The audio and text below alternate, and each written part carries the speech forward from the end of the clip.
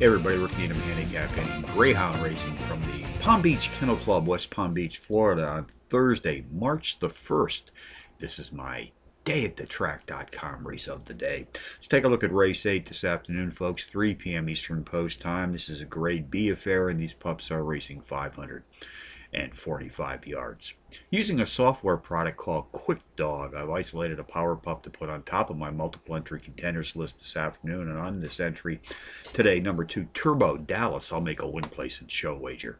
I also like to play the boxed exotics here at Palm Beach, so along with number two, I'll be boxing number one, Bust Out Herschel, number seven, WW's Key Penny, and number eight, Night Idaho. That's 2178 in the eighth from Palm Beach.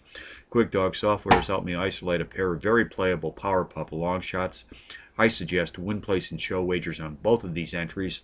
First comes in race three, win, place, and show, and a five to one shot. Number four, Atacasita Brick, and in race four, win, place, and show, and a nine to two shot. Number one, Carolina Lock. So from Palm Beach on a Thursday, Rick Needham for dayatthetrack.com, reminding you as always to please bet with your head, not over it.